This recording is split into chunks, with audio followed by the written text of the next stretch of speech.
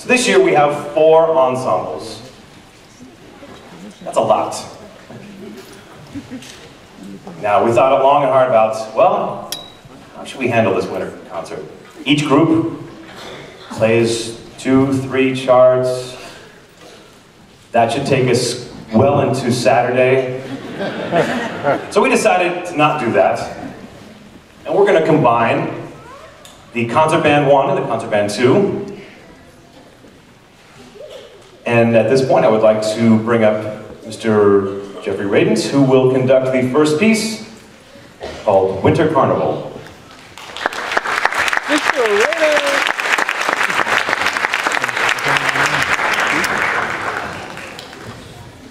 I've never heard that piece.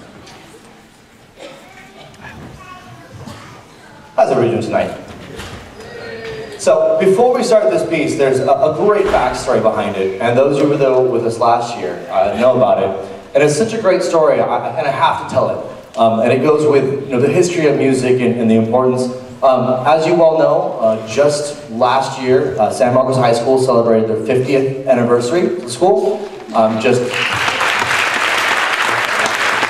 so just in time to tear down the school and build a new one, um, which is coming along just nicely. Um, so one of the things that we have, and we have a, a large library of very, we'll say, eclectic music. Um, in that, we'll have pieces that uh, really no one's ever seen before, um, and a very large volume of music hits um, from movies in the early 70s, um, which doesn't really work for us so much. But in looking for our holiday concert music last year, I came across this piece called Winter Carnival. Um, I figured, well, it's holiday and winter time, and so I figured maybe I'll look at it. And usually when I find a new piece that I've never heard of before, I will go online, I will search on YouTube, I will search anything I can find to just try and find recording. Like, what does this sound like? I can look at the music, but it's a lot easier to just listen to it. And I had a very difficult time finding any trace of this music. And I looked everywhere.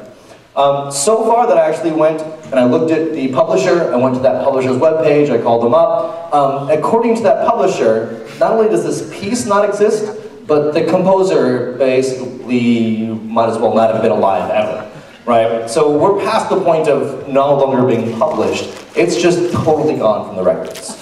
Um, so I'm pretty safe, other than the people who were here last year, that it hasn't been heard in, in quite a long time.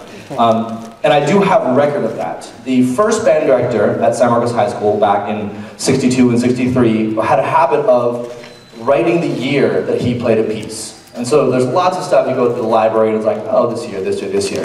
Um, so this piece was published in 1962, which is just after the school was built, and it was last performed, other than last year, in 1963. So cutting edge, brand new music at the time. And then it disappeared into our library for decades, quite literally. And uh, what it does show us is that, regardless of time, good pieces of music are still just great pieces of music to listen to. So this is Winter Carnival.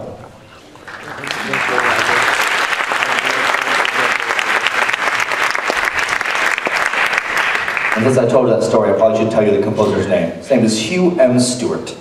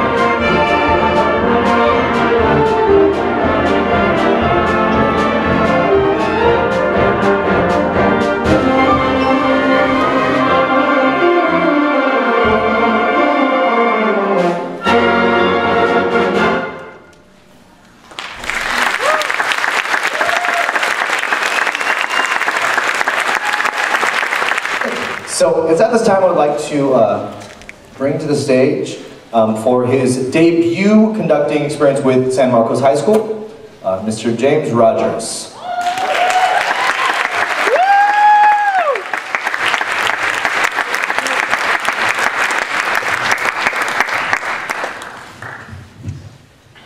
Excellent, thank you very much. Like Mr. Radin said, uh, I'm in my sixth year here with San Marcos High School, very proud to say. And um, it is awesome working with these students um, over the years. Uh, it's wonderful that we get the opportunity to be able to work with these students from them being freshmen all the way to seniors. And it's even a phenomenal thing just to see the freshmen go from that introverted, you know, freshman when you guys all start at Summer Music Academy to where you are now, where we can't get you to shut up. And uh, it's fantastic. I'd really uh, like to thank Mr. Radin along with Mr. Armstrong for giving me the opportunity to be able to work with these students. They're fantastic directors. Give it up for them. And of course, um, thanking you, the parents who have raised these uh, kids, uh, these young adults. They're fantastic, um, majority of them anyway. Uh, no, they are. They're, they're absolutely awesome uh, kids. Um, on a note that I've actually been able to uh, keep away from um, a lot of people is I've recently gotten married. I got married in July. My parents thought it was never going to happen. Um, she is beautiful and wonderful, and uh, it is awesome that uh, she agreed to marry me because my life has completely changed, and it's wonderful to be married. It's an awesome thing to be married, guys. and on that, the announcement is that come band camp this next year, we're going to have a baby.